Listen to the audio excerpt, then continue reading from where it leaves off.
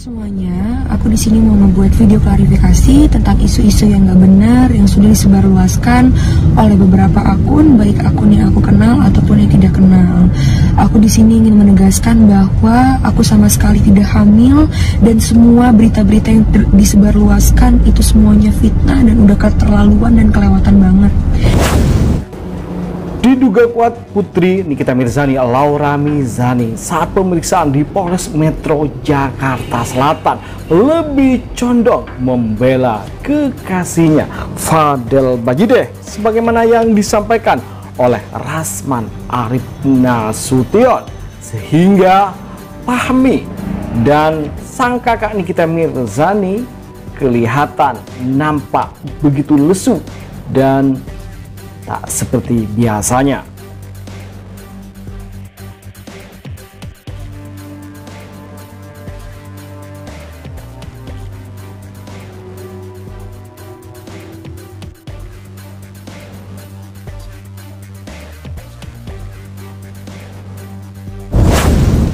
Halo semuanya, aku di sini mau membuat video klarifikasi tentang isu-isu yang gak benar yang sudah disebarluaskan oleh beberapa akun, baik akun yang aku kenal ataupun yang tidak kenal. Aku di sini ingin menegaskan bahwa aku sama sekali tidak hamil dan semua berita-berita yang disebarluaskan itu semuanya fitnah dan udah keterlaluan dan kelewatan banget. Aku selama ini sama Fadel selalu menjalani hubungan yang baik-baik aja, positif-positif aja, tidak pernah melakukan hal-hal yang negatif ataupun yang buruk seperti misalnya berhubungan intim ataupun hamil itu tidak pernah sama sekali.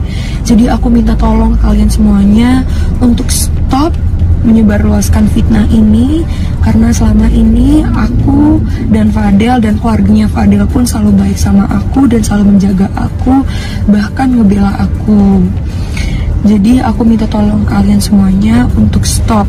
Karena kalau misalnya kalian tidak stop aku tidak akan segan untuk melaporkan semua ini ke Komnas Anak untuk mempertahankan nama baik aku dan untuk lindungan aku sendiri.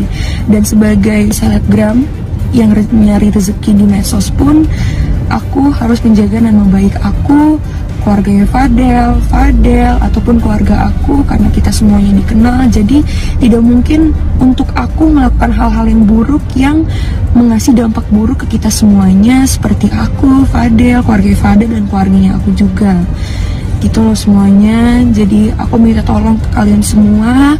Aku harap dengan video ini kalian semuanya mengerti. Karena gak mungkin aku milih seseorang untuk dipacari kalau misalnya aku tidak cinta atau, aku tidak sayang atau aku tidak nyaman dengan orang tersebut yaitu Fadel.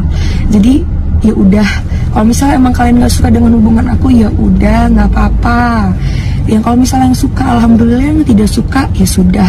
Aku nggak akan repot dan untuk kalian pun tidak usah repot gitu loh. Karena hubungan ini aku yang jalani dan Fadel. Sudah itu aja. Aku harap dengan video ini kalian mengerti. Sebelumnya maaf kalau misalnya ada kata-kata yang salah. Makasih semuanya. Dan Fadel itu hari ini jam 11 berangkat ke Malaysia untuk dance. Nanti 7 tanggal 8 baru pulang.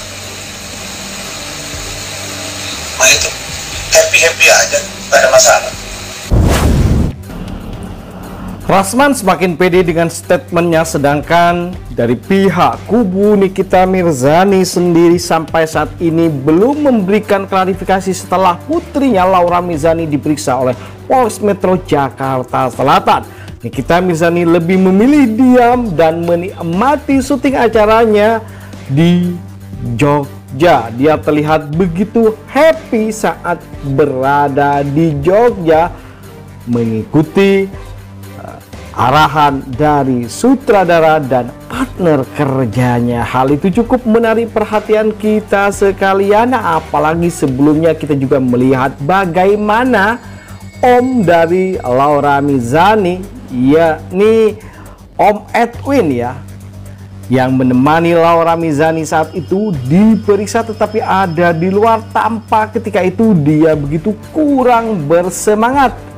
Taut wajahnya menyimpan ketidaksenangan. Akankah hal itu benar bahwa Laura Mizani masih lebih berpihak kepada Fadel Bajideh daripada ibundanya sendiri? Atau memang bahwa Fadel tidak melakukan perbuatan yang dituduhkan tersebut. Meskipun kita tahu bahwa ME saksi yang diajukan oleh Fadel Bajideh yakni Mama Eda saat live chat kepancing oleh Nikita Mirzani dia memaparkan ya memberikan klarifikasi bahwa Laura Mirzani dengan si Fadel diduga Hamidun. Ya diduga Hamidun sampai tiga bulan. Benarkah apa yang disampaikan oleh ME tersebut? Atau hal tersebut hanyalah cuap-cuap sampai saat ini? Masih belum ada klarifikasi, belum ada kepastian dari pihak kepolisian. Padahal saksi-saksi yang sudah dihadirkan oleh Nikita Mirzani sudah berkisar belasan orang.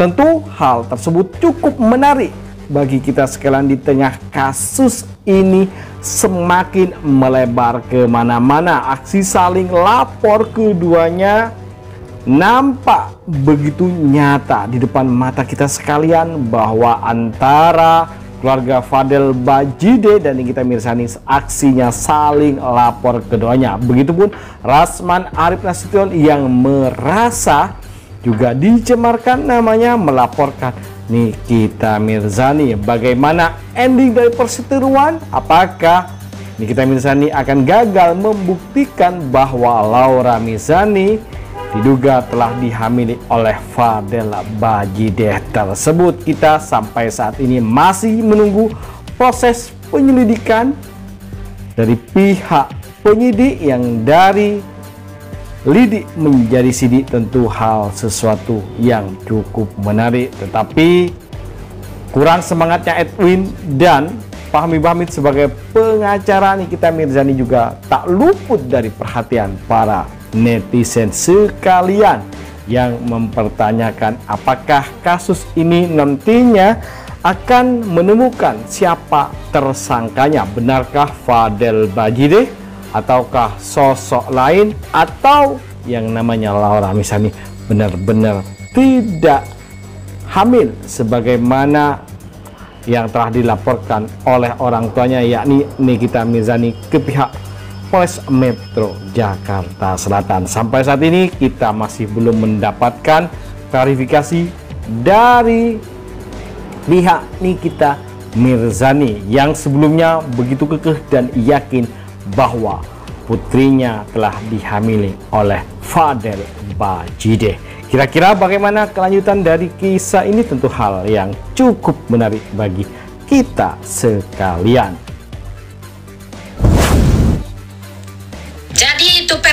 Semua itu omong kosong. Pergi lagi fak lagi dengan Fadel ya. Jelas hamil.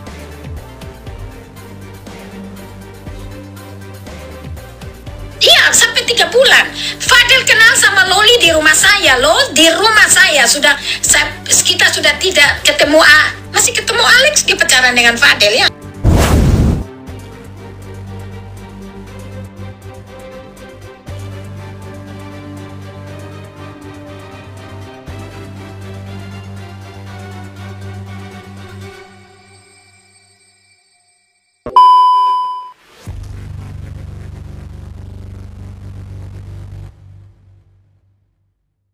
Bagaimana menurut kalian guys? Jangan lupa kasih komentar, like, dan masukan agar tambah seru keuangan mereka berdua yang so selalu akan kita sajikan kabar terbaru terupdate tentang selebriti tanah air dan mancanegara yang bakal bikin kita semua happy senang dan update akan kabar berita terbaru tentang mereka tentunya.